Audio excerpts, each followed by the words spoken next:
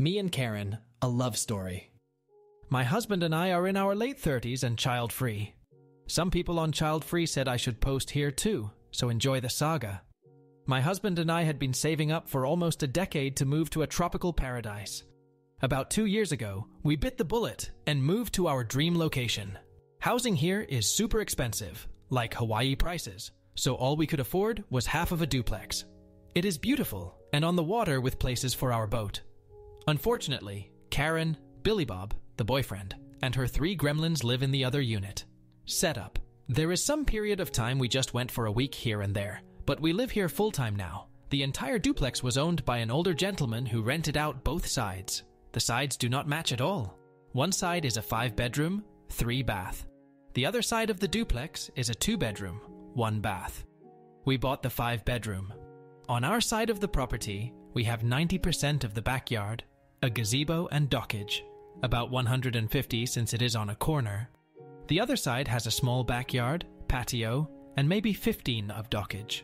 The rental leases say the renters are entitled to their specific backyards, but there were no fences or anything, so all the renters shared the entire backyard. After we bought the house, Karen immediately tried to throw her weight around that they expected to continue with that privilege. I told her if she asked politely, we would try to accommodate her. She thought this meant she could use our backyard whenever she wanted. Party incident. One day, my husband and I are enjoying some drinks outside when a delivery truck shows to set up a giant blow up thing in our backyard. I asked Karen WTF she thought she was doing, and she said it was her kid's birthday. Then she had the gall to say it was a family and friends only event, so we had to stay inside our house. Not wanting to be a total asshole and ruin some little girl's birthday, I told Karen, after this, she had no access to our backward period. Karen shrugged and kept setting up for the party. During the party, a drunk adult wandered into our house, which shocked us all. I said Karen's house is the other side, and he said, Oh, Karen said she owned the whole property and to use whichever bathroom was available. I directed him to Karen's bathroom, and soon after she came storming into our house, screaming about how dare we make her look bad to her friends and how selfish we are. We couldn't even spare one bathroom. She said we didn't deserve all this space with just us. I told Karen to get the hell out of my house, or I would be calling the cops. She finally left, and the party wrapped up shortly after. Backyard remodel. After the party incident, we decided we needed to clearly define the backyard and build a fence. While we were spending the money, we decided to update the patio, put in a fire pit, and an outdoor kitchen. While the contractor was on site, nosy Karen had to come investigate. Since the fence would be the last thing built, I was vague and just stuck to telling her about the patio update. You could see her face light up because, of course, in her mind, what's ours is hers. When the workers started on the fence, Karen came out screaming for the work to stop. I went outside and told the workers to keep working and told Karen to butt out. Of course, in true Karen fashion, she called the cops. What happened next was hilarity on my part after explaining to the cop that we were building a fence on our property, and the landlord, of which Karen was not, knew about it. When the cop gave Karen a stern lecture, I thought her head was going to explode. She went back into her house and slammed the sliding door so hard it sounded like something cracked. We got our fence and I thought that would be in the end, but of course not. The boat incident. One day, Billy Bob entered the picture, and he was as much a terrible neighbor as Karen. He would throw cigarette butts and empty beer cans over our fence for disrespecting his woman. I didn't know Paradise had trailer trash, but Billy Bob is the epitome of the stereotype. Billy Bob has a boat, a 30 fishing boat to be precise. Of course, that side of the duplex only has 15 of dockage. Since we have so much dockage and only one boat, we rent out the other dockage spots as month to month. People come and go, so if we don't receive rent from them by the end of the month and the boat disappears, we think nothing of it. We had a renter who tied up their boat on the property line, but Billy Bob wanted to park his boat and needed that space. Karen and Billy Bob posed as us, we were out of town, told the renters to be gone at the end of the month, and then parked Billy Bob's boat on the dockage. I only found out about it weeks later because the renter left a nasty review on the rental site we use. They said we were rude and went back on the verbal agreement to let them stay for three more months. I was like, what the fuck is all this? After a phone call, I quickly put two and two together. I called the cops who told Karen and Billy Bob they need to move their boat, or it would be towed. The equivalent of it, anyway. Karen and Billy Bob started screaming, The boat is fully on their property. It isn't. Then changed to No one can own the water. True. But a seawall is deeded. That we are liars. And at some point, Billy Bob punched a cop and went to jail. I felt bad for the cops, so took them all snacks the next day with a note apologizing for neighbor drama. I ended up winning my small claim suit against them for lost rental income, but of course haven't seen a dime. I eventually convinced the dockage renters to come back and gave them a few months free as compensation. Final revenge. If you've made it this far, congratulations. Get ready for a juicy justice boner. So, with the collapsing market, we were trying to figure out what to do with our savings when a perfect opportunity opened up. The landlord who owned both properties was in desperate need of some cash and was tired of managing the property from 2,000 miles away, because of course Karen is a Karen, and called him weekly for every little thing. His only stipulation was we let the poor single mom who has been his renter for eight years finish her lease, which is up in July.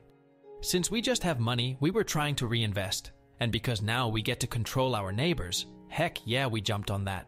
Since we didn't need a realtor or mortgage and an inspection had been done just a year ago for the old landlord to refinance, everything closed in just under two weeks. Karen was aware of a change of ownership. We registered the property under an LLC, but didn't know who until eight days ago. I went over to Karen's house and knocked on the door. Karen answered with a, What the fuck do you want, cunt? I smiled, handed her our landlord information, and sweetly reminded her rent was due by Friday, but she could just hand me the check if that was easier. I've always heard descriptions of people's faces turning white, but this was the first time I have actually seen it. I told Karen that we are honoring her lease until the end of July, but afterwards, she had better make plans to move, because we instead to remodel it before these next tenants moved in. Bye, bitch. Edit. A lot of people misunderstood the beginning. Let's call our side of the duplex Duplex OP. The other duplex is Duplex Karen. We purchased Duplex OP. After we bought it, Duplex OP was no longer a rental. Both Duplex OP and Duplex Karen were for sale independently, but we only had the money to buy Duplex OP. Duplex Karen is still a rental because it has never sold. Now we own both Duplex OP and Duplex Karen. Duplex Karen is still a rental. Duplex OP is still not a rental. When we made property improvements to Duplex OP, it was ours, and not a rental. Edit. A lot of people misunderstood the beginning. Let's call our side of the duplex Duplex OP. The other duplex is Duplex Karen. We purchased Duplex OP. After we bought it, Duplex OP was no longer a rental. Both Duplex OP and Duplex Karen were for sale independently, but we only had the money to buy Duplex OP. Duplex Karen is still a rental because it has never sold. Now we own both Duplex OP and Duplex Karen. Duplex Karen is still a rental. Duplex OP is still not a rental. When we made property improvements to Duplex OP, it was ours and not a rental. Update 1 Not much to update, folks. Karen and family's lease isn't up until the end of July. Rent has been paid on time. As far as I know, she doesn't have a new place lined up. We've served her 30 day notice we will not be renewing the lease. We also offered in writing that we will prorate July and waive the termination fee if they want to leave before the end of the lease. Beyond the near weekly loud parties and having to call their police because the kids were throwing lit fireworks at our boat, not much beyond the norm. Update 2. Long story short, Karen and family is still in the place and not paying any rent. They were served with eviction, but due to COVID stuff, we can't actually do anything about it. At least Karen and Billy Bob had a giant fight, which ended up in him being arrested, and he hasn't returned. I've been told by our lawyer once some laws are changed, removed in September, we can have the police escort them off the property that day since we've already filed the eviction. It's just a shit show right now. Karen is being extra smug, she tried to pushing her bounds and kept coming over to our property.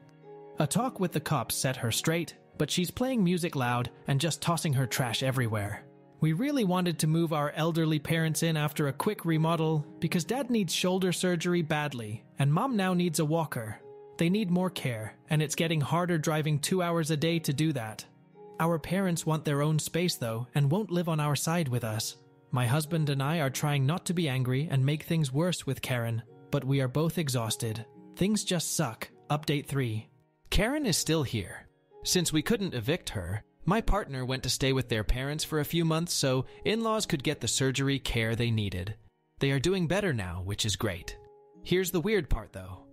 In October, Karen's mother, Susan, came to live with her since Susan's landlord chose not to renew her lease. Susan is an angel. Susan was mortified at Karen's and the kids' behavior. Susan is a tough one and has been cleaning house, both figuratively and literally. The kids are so much better behaved, and Karen stomps around like a sullen child. Susan and I share drinks every few days in the backyard. We bake together too every weekend.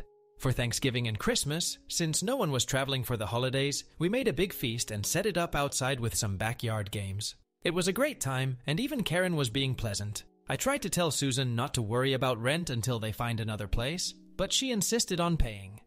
I lied about how much the rent was, so it's only a half payment, but it just covers the taxes, insurance. We drew up another lease that is month to month. Susan wants to move back home at some point and take her daughter with her, Karen.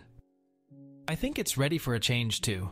But obviously, with COVID, it might take some time. It's pretty pleasant right now, though, so I'm in no hurry for them to leave.